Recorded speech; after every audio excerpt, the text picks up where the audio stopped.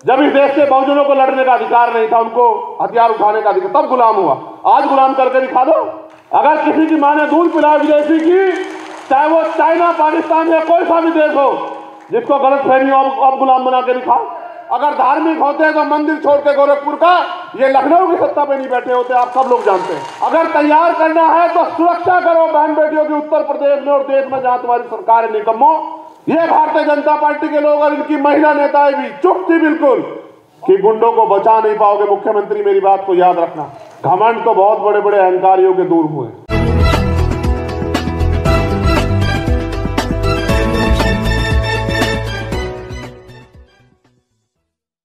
DM, SSP जाके व्यवस्था करेंगे। एसडीएम जाके व्यवस्था करेंगे। उनका लक्ष्य क्या है इस बात को समझो। भाई, धर्म आपका व्यक्तिगत मामला है, कोई आपको अपने धर्म को मानने से नहीं रोक सकता। और चाहे वो हिंदू धर्म के लोग हो, मुस्लिम धर्म के लोग हो, ईसाई धर्म के लोग हो, सिख धर्म के लोग हो, कोई भी धर्म देना सिखाता है लेना नहीं सिखाता, लूटना नहीं सिखाता, जो ही सिखाते और धर्म को मानने वाले लोग अपनी आस्था ये होती है कि वो अपना अपना खर्च करके अपने धर्म को सीखते हैं। ये है असली धर्म। इन्होंने व्यवस्था की है कि बैनर लगेंगे जनप्रतिनिधियों के, वो सरकारी खर्चे पे लगेंगे और मंदिरों में लगेंगे। और मंदिरों में जो एमपी एमएलए हैं, क्योंकि उनकी सरकार है वहाँ तो इनके नेता वहाँ मुख्य अतिथि होंगे। आप सोचो, ये मंत्री को राजनीतिक घर बनाना चाहते हैं कि मंदिरों में इनके नेता जाए, सरकारी खर्चे पे जाके भाषण दे और भाषण दे के कहें कि देखो, हमारी पार्टी ने किया है, इसलिए आप हमारे साथ जुड़ जाओ। ये हमारे दलित पिछड़े वर्ग के लोगों को बेवकूफ़ बनाने की तैयारी है। उनकी वोट को लूटने की तैयारी है, ये कोई धार्मिक नहीं है। अगर धार्मिक होते हैं तो मंदिर छोड़ के गोरखपुर का, ये लखनऊ की सत्ता पे नहीं बैठे होते, आप सब लोग जानते हैं। हमें अपने समाज को सावधान करना होगा, हमारी बहनें वहाँ जाएँगी मंदिरों में। पूजन करने के लिए ये वहाँ अपनी बात बता के उनको बेवकूफ़ बनाने का काम करेंगे। हमें ज़्यादा बड़े पैमाने पर मैं आपसे कह रहा हूँ कि अपनी बहनों को इस आंदोलन से जोड़ना पड़ेगा। हमारी माओ को तैयार करना पड़ेगा। हमारी बहुजन श्रेणियाँ जो इतिहास उनका गवाह है, इतना बड़ा इतिहास है। माँ सावित्री बाई फूले से लेके माँ वंतिका बाई लोधी, माँ झलकारी बाई माँ पन्ना दाई इतना बड़ा इतिहास है, जिसका कोई तोड़ नहीं। उन वीरांगनाओं को जो आज की वीरांगना उनको तैयार करना पड़ेगा। कुछ यहाँ बैठी है, कुछ घर पे है, उनको हमें जाके समझाना पड़ेगा कि इनसे कहो कि अगर वास्तविकता में तैयार करना है तो इन महिलाओं को सशक्त करो और हर महिलाओं को रोज़गार दो। अगर तैयार करना है तो सुरक्षा करो बहन बेटियों की उत्तर प्रदेश में और देश में जहाँ तुम्हारी सरकार है निकम्मो बहन बेटियों की सुरक्षा नहीं कर पाते हो, भाषण देते हो। बेटी बचाओ, बेटी पढ़ाओ के नारे देते हो और आपकी सरकारों में हाथरस के साथ क्या हुआ, आपने नहीं देखा क्या?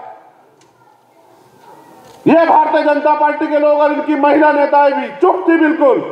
और सीबीआई ने क्लोजर रिपोर्ट लगाई और कहा कि ये हुआ और देखो, किस तरह से सत्ता का दुरुपयोग करके उन्होंने हमारी बहन को, न्याय को जो है बाधित करने का काम किया। देखा आपने? किस तरह से आपके साथ हुए न्याय का मज़ाक उड़ा उत्तर प्रदेश में? तीन लोगों को बरी कर दिया और एक आदमी को सजा और वो भी, वो जो धाराएँ बैठती थी वो हटा दी। पूरी सरकार खड़ी थी आरोपियों को बचाने के लिए केवल भीम आर्मी के लोग ज़मीन पर लड़ रहे थे, उस समय आज़ाद समाज पार्टी के लोग। और उनका दबाव था दिल्ली में कि मुख्यमंत्री को मजबूर होना पड़ा। न्याय के लिए, लेकिन फिर भी न्याय के साथ घोटाला किया। याद रखना कि गुंडों को बचा नहीं पाओगे मुख्यमंत्री, मेरी बात को याद रखना। क्या उंगली दिखा दिखा के बात करते हो? सदन में नहीं हुआ। मैं सदन में वरना देता जवाब। अपने लोगों की तरफ़ से बता था कि उंगली कैसे दिखाई जाती। घमंड तो बहुत बड़े बड़े अहंकारियों के दूर हुए। मैं इसलिए उत्तर प्रदेश के लोगों को ज़्यादा निर्देशित करना चाह रहा था क्योंकि उनके यहाँ पंचायत, उसका नगर पंचायत का चुनाव आ गया है अप्रैल में। और आपने देखा, जब ये आपके बीच में आए तो आप पूछना इनसे कि बताओ, पिछड़े वर्ग के लोगों को नगर निकाय में आरक्षण न मिले, इसकी तैयारी क्यों करके रखी है आपने? क्यों इतने दिन तक आपने जो है वो ट्रिपल टेस्ट पास नहीं करवाया? हमें अपने लोगों को समझदार बनाना पड़ेगा, जागरूक करना पड़ेगा। ये हमसे रिश्ते भी वोट के रखते जिस दिन वोट का अधिकार आप पर नहीं था, ये आपको शूद्र कहते थे, अछूत कहते थे, नीच कहते थे।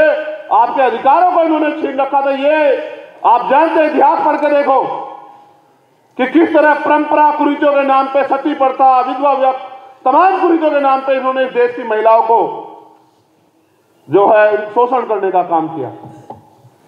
ऐ मेरे मूल निवासी बहुजन समाज के लोगों, अपने दिल पे हाथ रख के पूछो कि सती प्रथा के नाम पे अगर आज सती प्रथा होती और आपके घर में आपकी, अगर आपके घर में कोई बहन विधवा हो जाती, चाहे वो आपकी बहन हो, भाभी हो, माँ को, उसको संखलों में बाँध के अगर जलती चिता पे लिटाया जाता तो आपके आपके छाती पे क्या बीतती, आपके दिल पे क्या बीतती, आप सोच के देखो। क्योंकि तब हम पे, तब हम पे अधिकार नहीं थे। देश तब गुलाम हुआ। जब इस देश के बहुजनों को लड़ने का अधिकार नहीं था उनको हथियार उठाने का अधिकार तब गुलाम हुआ। आज गुलाम करके दिखा दो। अगर किसी की माँ ने दूध पिलाया विदेशी की चाहे वो चाइना पाकिस्तान या कोई सा भी देश हो जिसको गलत फहमी अब, अब गुलाम बना के दिखाओ ये गुलाम तब हुए हम जब इनके हाथ में पावर थी और हम बहुजन लोगों को दलित पिछड़े आदिवासी और अल्पसंख्यक लोगों को कहा कि तुम हथियार नहीं उठा सकते हो। आज तो हम अपने हकों के लिए लड़ने को तैयार मैं आपसे यह भी कहना चाहता हूँ, पूरे पूरे देश से आए लोगों को, आप जाके वहाँ मुझे रिप्रेजेंट करेंगे, आप बताएँगे, मैंने कहा था डायरी पेन लेके आना कि हम क्या चाहते हैं। मैंने आपसे अपील की कि पार्टी गाइडलाइन से अलग हटके अनुशासन को त्याग कर कोई काम ना किया करें। आपकी, आपका अनुशासन, आपकी ताकत है। जब आप अनुशासित रहेंगे, इससे आपकी ताकत बढ़ेगी। जब आप गाइडलाइन पे रहेंगे, तब आपकी ताकत बढ़ेगी। जब हम भीड़ बन जाएँगे, आपकी ताकत नहीं बढ़ेगी। इसलिए जो पार्टी के आदेश आते हैं, उनका, उनको पालन किया करो भाई। ये बात मैं आपसे कहता रहता हूँ। भाई, जितना इस पार्टी के लिए मैं जिम्मेदार हूँ कि आप लोग जिम्मेदार नहीं हो, जो सब लोग बैठे बताओ जरा। जो सब लोग बैठे बताओ क्या मैं अकेला जिम्मेदार हूँ? क्या सारा भार मेरे कंधों पे या आपके कंधों पे भी है कुछ? तो आप लोग ये क्यों नहीं ख्याल रखते कि किसी भी कारण आपकी पार्टी का मान सम्मान कमज़ोर नहीं पड़ना चाहिए? आपकी किसी बात से आपके किसी साथी को गुलानी, अपमान महसूस नहीं होना चाहिए। क्या आप इन बातों का ख्याल क्यों नहीं रखते हो? इसलिए दिशा निर्देश के तौर पर मैं कह रहा हूँ कि जो आपसे वरिष्ठ साथी हैं उनके आदेशों का पालन किया करो और आपको कोई शिकायत हो तो उसको जब मीटिंग हुआ करे, समीक्षा हुआ करे, तब जो है अपनी बात को रखा करो। सार्वजनिक उपक्रमों पे अपनी बात को ना रखा करो, उससे आपकी पार्टी आपके संगठन की छवि को धब्बा लगता है। क्या आप अपनी पार्टी संगठन के विरोधी हो?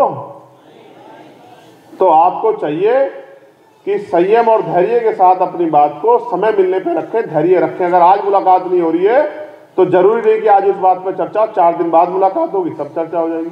अभी हमारे एक वरिष्ठ साथी ने मुझसे कहा कि भाई, मुझे आप उत्तर प्रदेश की लिस्ट दे दो। तो मैंने उनसे कहा, क्योंकि वो बहुत धैर्यपूर्ण हमारे नेतृत्व करता है तो मैंने उनसे कहा कि जब हम दोबारा मिलेंगे, तब मैं आपको दे दूँगा। उन्होंने एक बात में समझ लिया। आप भी समझा करो। अब ये पूरा आपके कंधों पे है। स्पेशली नौजवान लोगों के। ये नौजवान लोगों के कंधे पे है। मैं बिहार के साथियों का भी धन्यवाद करना चाहता हूँ कि उन्होंने बहुजन समाज जोड़ो, भाईचारा तैयार करो यात्रा के ज़रिए पूरे बिहार में जो सत्ताधारी दल के साथी लोग हैं, उनकी उनकी यात्रा में भी इतनी भीड़ थी, जितनी भीड़ उन्होंने जुटाने का काम किया, जितनी मेहनत करने का उन्होंने काम किया, मैं वहाँ के नेतृत्व करता दोनों साथियों का, और वहाँ से पहुँचे सभी, और जो वहाँ हैं उन सभी साथियों का दिल से धन्यवाद करता हूँ कि वहाँ भी उन्होंने आपने एहसास करा दिया कि आने वाले कल में आज़ाद समाज पार्टी भीम आर्मी के बिना वहाँ भी आगे राजनीतिक आंदोलन उन लोगों का नहीं बढ़ सकता।